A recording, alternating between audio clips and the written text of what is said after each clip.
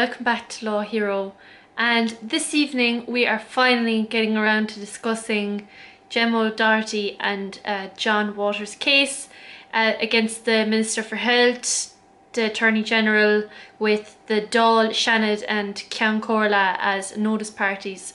And I have um, really wanted to review this judgment simply because I'm very curious uh, to see what arguments uh, were made on both sides, so both from the applicant and respondents. This is judicial review, by the way. So I am reading from the judgment of Mr. Justice Meenan, um, which was delivered on the 13th of May 2020. And I'm just going to make some comments around uh, some parts of the judgment. Judicial review was to challenge the constitutionality of legislations and regulations enacted to prevent the spread of coronavirus in Ireland, COVID-19 Act 2020 was enacted. There was also a rake of statutory instruments like, you know, around the restrictions of movement and whatnot. There was a lot of law um, brought in. So in a judicial review case, the burden is on the applicant to dispose such facts in his or her grounding affidavit, which if proven could make an arguable case in law that has a prospect of success. So that is the um, threshold here to be reached by the applicants John and Gemma. Number two is locus standi, i.e. from Cahill v Sutton, that the applicants have a sufficient interest in the matter to which the application relates. So the claim of unconstitutionality is here.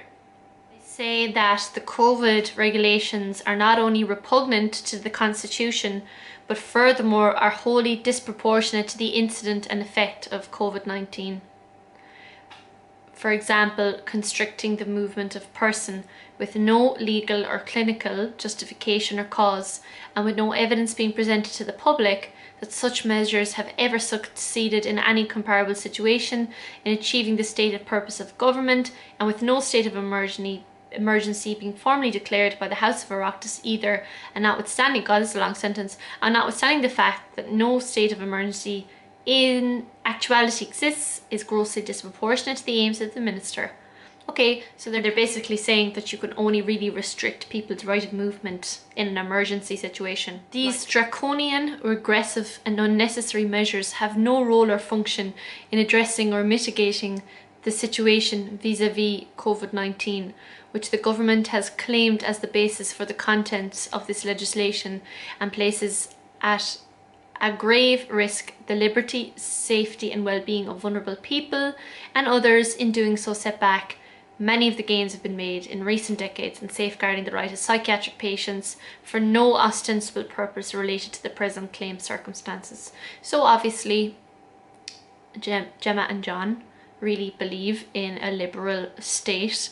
Uh, it seems they uh, want liberty safeguarded and they believe that uh, vulnerable people are going to suffer as a result of the COVID-19 regulations. They also make an interesting argument around uh, the landlord, uh, sorry, the Residential and Tenancies Act 2004, where they say um, that this is actually repugnant to Article 40.3 of the Constitution. So they're saying that because Residential Tenancies uh, Board can't operate at the moment, that they're being um, denied their ability to adjudicate on those matters. So then they throw in some um,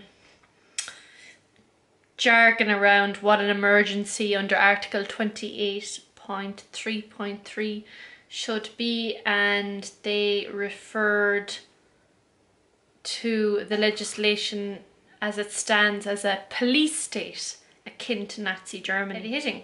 So the articles in the constitution specifically they claim the legislation um, and the regulations are in breach of was uh, article 40.3 uh, the state guarantees in its laws to respect as far as practic practicable by its laws to defend and vindicate the personal rights of the citizens.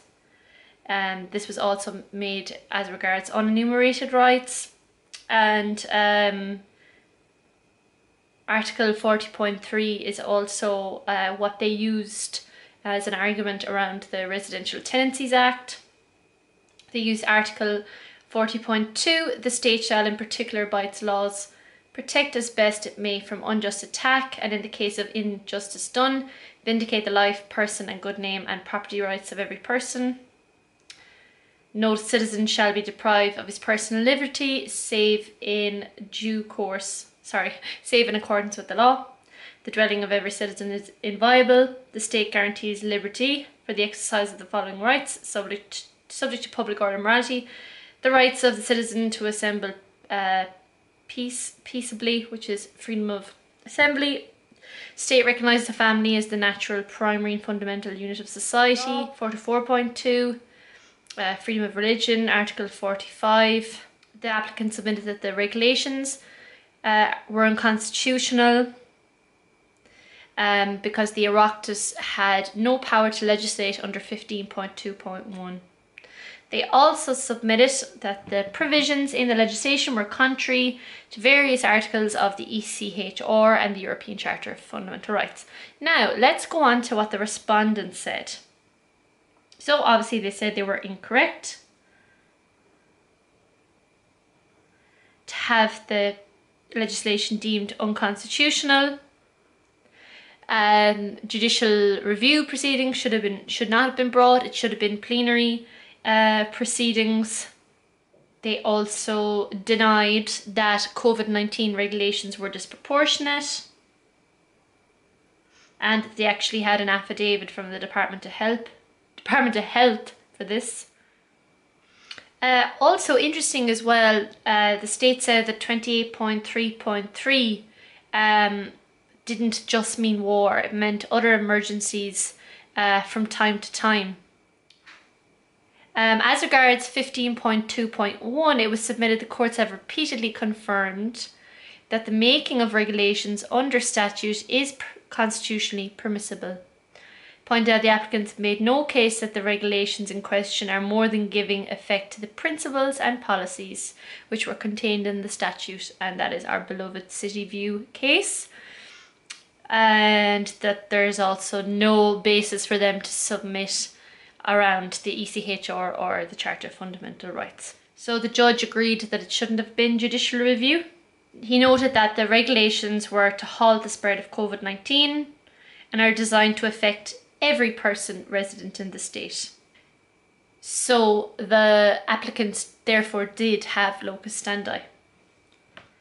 The applicants maintain that restriction on movement and assembly are destructive of family life the rights as to free movement of persons and assembly are to be considered in the context of the relevant articles that provide for such.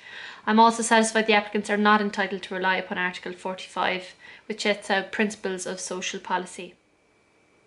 These principles are not uh, cognizable by any court under any of the provisions of the Constitution as stated in the article, nor was any case made that any unenumerated constitutional right was breached. To make an arguable case that the restrictions and limitations of rights are disproportionate, it was necessary for the applicants to put on affidavit some facts which, if proven, could support such a view. Unfortunately, in making their case for leave, the applicants who have no medical or scientific qualifications or expertise relied upon their own unsubstantiated views gave speeches, engaged in empty rhetoric, and sought to draw a historic parallel with Nazi Germany, a parallel which is both absurd and offensive. Unsubstantiated opinions, speeches, empty rhetoric, and a bogus historical parallel are not a substitute for facts. Woo! In my view, the applicants do not have standing to challenge the amendments to the Mental Health Act, which is clearly directed towards people in a defined category similarly to the Residential Tenancies Act 2004. They did not claim that they were either landlords or tenants. Delegated legislation is permissible under the Constitution, and no case was made by the applicants that the regulations were outside the principle and policies contained in the enabling statute.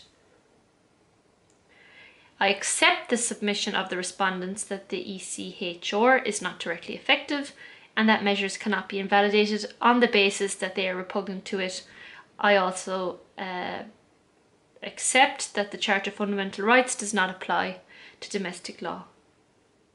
By reason of the foregoing, I am satisfied that the applicants, were they to have standing, have not made an arguable case. I will note though that Article 28.11 of the Constitution makes clear that the government remains in office until their successors have been appointed.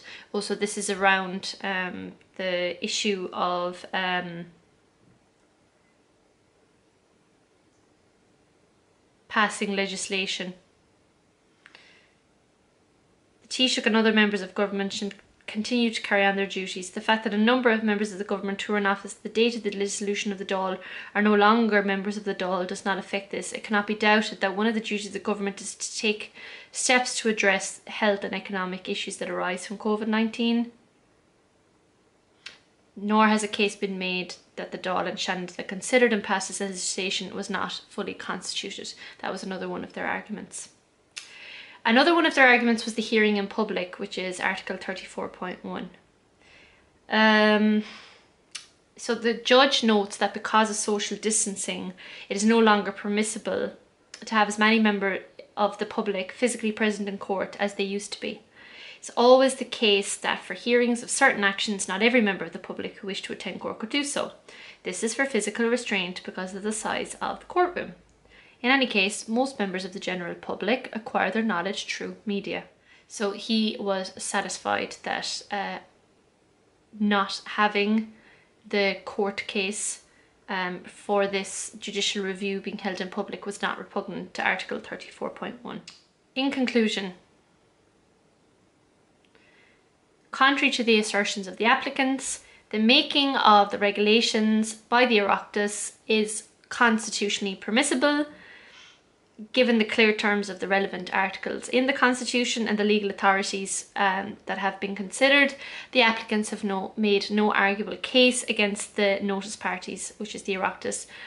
The case which they sought to make against these parties is unstateable and I am refusing their application. Sorry, the respondent was uh, uh, Ireland, uh, uh sorry, it was the Minister for Health, uh, Ireland and the Attorney General and the notice party was um, uh, the Oireachtas, the, the Seanad and the Ceann Sorry if I had said that wrong. So in conclusion, I think that was a rather excellent judgment um, to read. It was very interesting, very current. Um, I think it's interesting the arguments they made.